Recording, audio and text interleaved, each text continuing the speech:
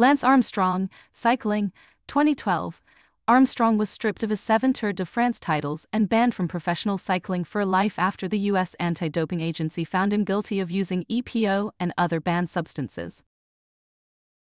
Marion Jones, Track and Field, 2007. The American sprinter confessed to using EPO before the 2000 Sydney Olympics, where she won five medals. Jones was later stripped of her medals and served a six month prison sentence for lying to federal investigators. Alberto Contador, Cycling, 2010.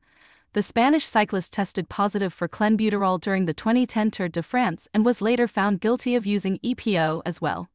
Contador was stripped of his 2010 Tour de France and 2011 Giro d'Italia titles and served a two year ban.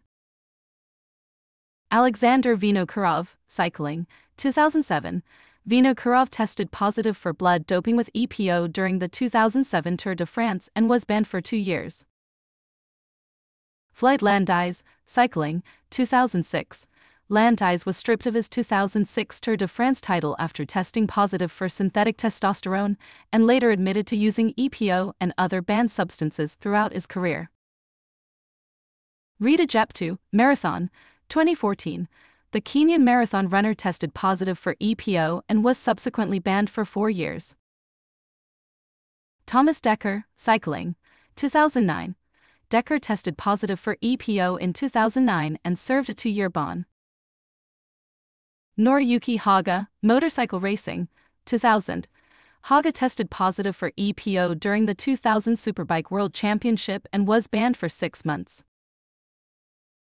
Evi Sachenbacher-Stehle, Biathlon, 2014.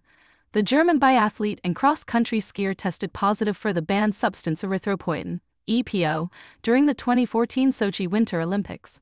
As a result, Sachenbacher-Stehle was disqualified from the Games and handed a two year ban from competition.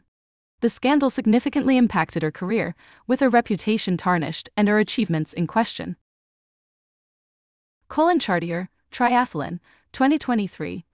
The American professional triathlete confessed to using erythropoietin, EPO, during his career, admitting to the doping violation publicly.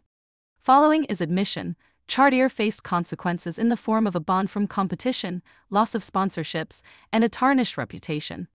The incident sparked a conversation around the use of performance enhancing drugs in triathlon and the importance of maintaining a clean and fair sport.